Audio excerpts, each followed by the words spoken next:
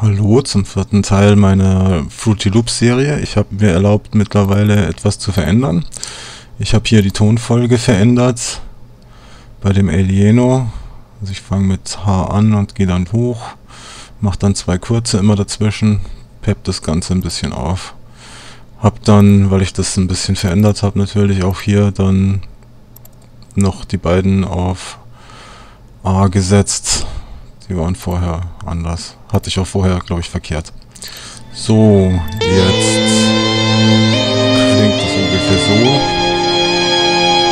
Und ähm, jetzt habe ich auch noch einen anderen Ton, den ich mir nehme. Der heißt Chemical Sister.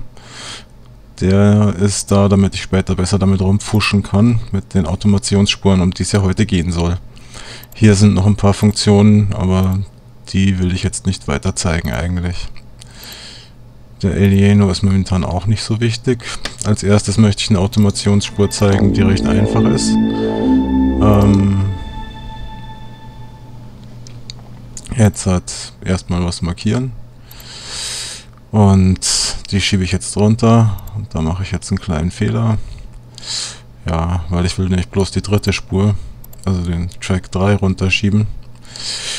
Ähm, das Schlagzeug soll nicht so abrupt einsetzen, sondern soll ein bisschen langsam kommen. Dazu mache ich eine Volume. Aber erstmal ist es mir recht peinlich, das geht nämlich nicht. Nach 15 Minuten schaltet sich das aus. Warum auch immer. Die sind zwar kostenlos, aber nach 15 Minuten funktionieren sie nicht mehr. Man kann dann den Contact 4 neu reinladen wieder. Replace, New, dann Contact 4. Und äh, dann gehen die wieder eine Viertelstunde. Danach muss man sie wieder neu reinladen. Ist ein bisschen nervig. Ähm, ich habe hier auch jetzt nicht den Dry, sondern den Wet genommen. Der klingt ein bisschen besser, finde ich. So, und da möchte ich jetzt die Lautstärke rein zoomen, sozusagen. Fade in. Und hier dieser Knopf ist die Lautstärke für den Synth, der vorne drin ist. Und da mache ich jetzt einen Create Automation Clip. Genau. Und da ist jetzt die Lautstärke ähm, an einer Kurve oder in einer Kurve dargestellt. Und diese Kurve kann ich jetzt an diesen Punkten verschieben. Mit einem Rechtsklick kann ich einen neuen Punkt setzen. Und ich kann so viele Punkte setzen, wie ich will. In dem Fall will ich jetzt erstmal nur einen, damit eben dieses Schlagzeug, was jetzt eigentlich mehr so ein Meeresrauschen mit ein bisschen Tak-Tak ist, aber nicht viel, langsam anfängt und nicht einfach so einsetzt. Das ist ja störend, wenn das plötzlich so losgeht. Ja, genau. Und jetzt kommt es langsam hoch. Mit diesem Automationsclip.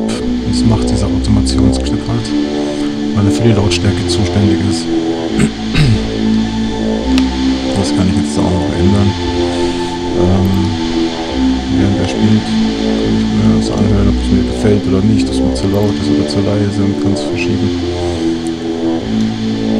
Jo, das war jetzt der erste. Und das war der einfachste. Einfacher geht's nicht. So, jetzt kommen die beiden und jetzt kommen hier ein paar Automationsclips rein. Ihr seht, ich habe hier einiges vor. Jetzt gehe ich auf den Alieno. Den wähle ich mir aus, der liegt auf dem Pattern 1. Und jetzt ähm, nehme ich als allererstes diesen Frequenz, Freak, und drehe den ein paar Mal. Gehe hier oben beim Fruity Wrapper, Linksklick, nochmal Browse Parameters. Das, was ich als letztes gedreht habe, wird jetzt hier hervorgehoben. Ein Rechtsklick, Create Automation Clip. Jetzt habe ich hier den nächsten Automationsclip. Die nächste Kurve. Und das ist jetzt äh, dieser Frequency, Frequenzregler vom Alieno, vom Synthesizer. Und den kann ich jetzt auch hoch und runter schieben, wie ich will. Und äh, oben links sieht man dann die Prozentzahl von der Lautstärke, wenn man es verschiebt so dass man auch immer auf der gleichen Lautstärke ist und genau weiß, was man da hat. So, und jetzt fängt das langsam an. Und das mache jetzt nicht ich, sondern es geht automatisch. Ja, und jetzt geht's hoch. Und jetzt fährt man ihn dann langsam. Genau. Das ist auch dieser Automationsclip. Und deswegen liebe ich äh, Fruity Loops. Das ist einfach genial und man kann es ja nicht nur bei einem Automationsclip machen. Man kann es ja bei so vielen machen, wie man will. Jetzt nehme ich hier den zweiten, diesen Warp Factor. Rechtsklick. Create Automation Clip. Habe ich den nächsten. Den schiebe ich mir auch zurecht. Der macht die halt immer über die ganze Länge. Auch da, wo man ihn nicht braucht. Eigentlich ist es egal. So, einen neuen gesetzt und der soll jetzt auch ansteigen. Und dann hört man, was der nur so macht. Der geht jetzt auch langsam hoch, wie man sieht. Wegen dieser Automationsspur. Der verschluckt den Sound ein bisschen. Jetzt nehme ich noch den, die Geschwindigkeit für diesen Warp. Warp Speed. Ist auch sehr nett. Genau dasselbe, wieder eine Automationsspur erstellt. Reingeschoben. Hier oben mache ich das halt auch immer. Oben ist dann der Track, zu dem die Automationsspuren gehören. Und drunter dann die jeweilig zugehörigen Automationsspuren. Also Track 1, darunter sind jetzt dann die ganzen Automationsspuren, die zum Alieno gehören. Und unter dem Pattern 2 auf Track ähm, 8 ist es jetzt, ähm, ist der Automationsspur für den Beat, fürs Schlagzeug. Die Lautstärke. Und jetzt geht's dann dahin.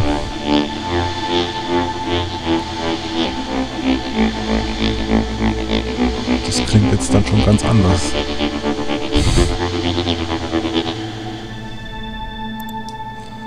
vielleicht ein bisschen zu sehr, zu schnell. Das Wupp, Wupp, Wupp. Wie auch immer das nächste wäre dann hier das Gleit. Das ist, dass die Töne ineinander übergleiten. Äh, ich kann leider nicht singen. Der nächste Automationsclip. Und wieder dasselbe Vorgehen. Zusammenschieben. Und dann kann man damit rumspielen. Den lasse ich jetzt auch einfach mal ansteigen, permanent. Ich will es jetzt hauptsächlich mal zeigen. Ich übertreibe es jetzt natürlich auch ein bisschen. Ich hau da jetzt so viele ähm, Automationsclips drauf, wie ich halt so eine Viertelstunde schaffe.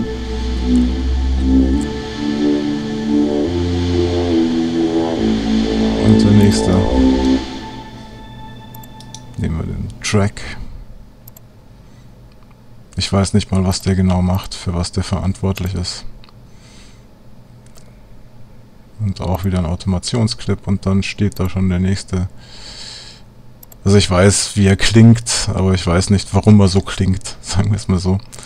Ähm insofern weiß ich schon, was passieren wird, wenn ich den verwende, aber ich weiß nicht, warum das genau passiert.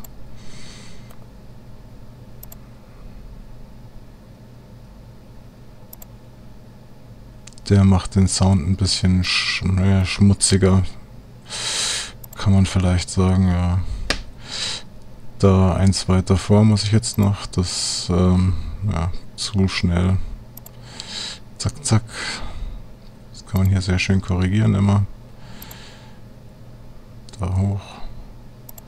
Das ist da, wo die, wo der ganze Ton kommt, dann der schmutzige Effekt drauf liegt.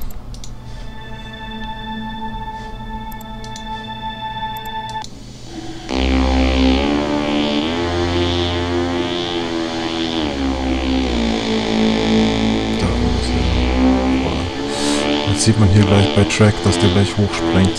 Ja genau, da wo der Automationscode auch hochspringt.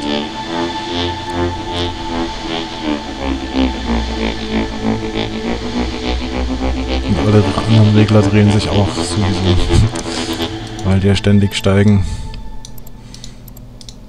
Und da kann man jetzt nochmal eins hinten dranhängen. wenn der Sound da gerade so abgeht. Hier dann wieder mit Rechtsklick duplizieren, also einen Punkt setzen, nach hinten schieben und den dann da. Genau. So kann man seine Linien da zeichnen. Wie man es halt gerade braucht. Und jede stellt im Prinzip einen Drehregler dar.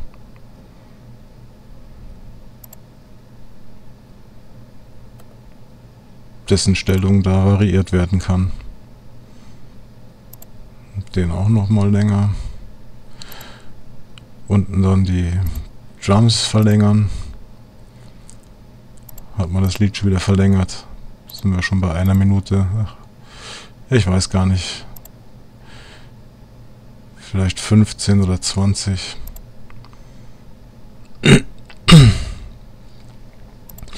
So, jetzt nach unten. Ja.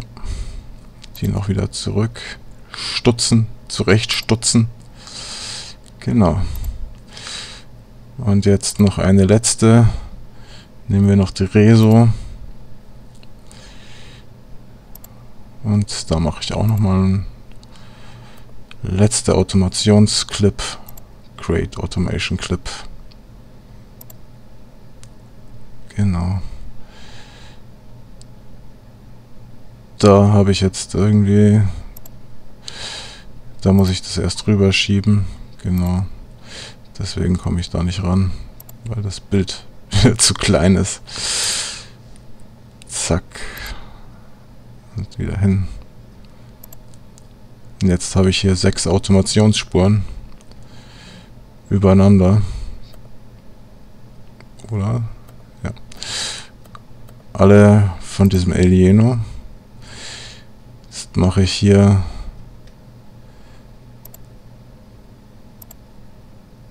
einen Effekt auf den zweiten langen Ton mit dem Rezo.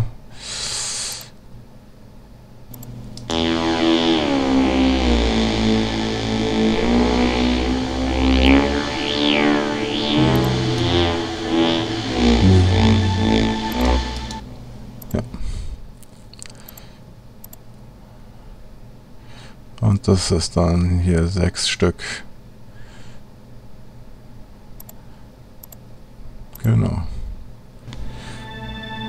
Und so klingt das dann, wenn die alle reinfaden nacheinander.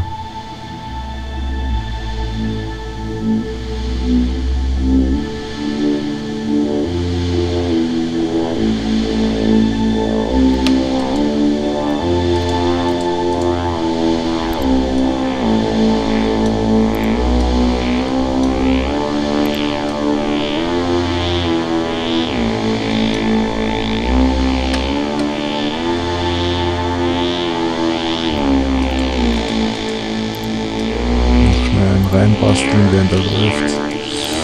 Alles kein Problem.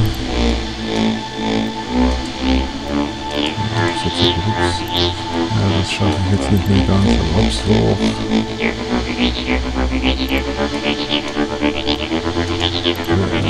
man erkennt das Prinzip, was da, da, da steht sofort.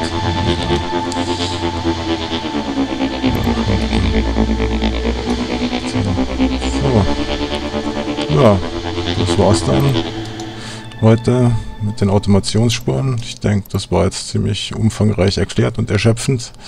Mir wird jetzt nichts mehr einfallen, außer vielleicht noch zu speichern. Und das nächste Mal kommen wir dann noch zu den Effekten. Und vielleicht machen wir ein bisschen weiter und wie es halt so geht, gell?